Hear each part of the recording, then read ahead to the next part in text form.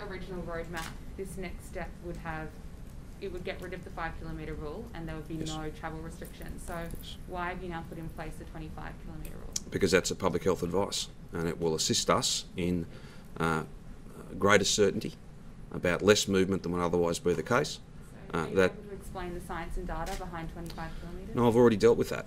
I think I dealt with that off the top where I said to you that I can't attribute to that one measure a percentage public health dividend. It's a package of measures. And you know, you're you're free to try and pick apart each and every part of the rules.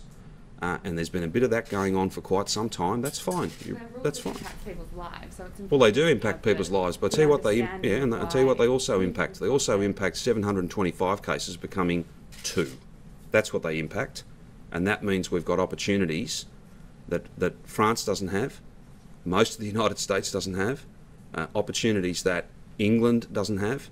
The list goes on and on. Victorians can be proud, optimistic, and more than hopeful. They can just look at the data and the stories that sit behind that data. This package of measures, with pain, of course, and with consequences, has worked. Uh, I cannot attribute a percentage dividend to every single item in the package. That's the nature of how packages work. They're a package of different things, and they all contribute to delivering a strategy.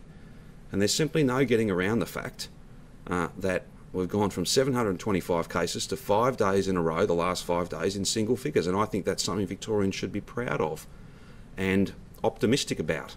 And if we can move further next weekend, we will. If not, we will move the following weekend.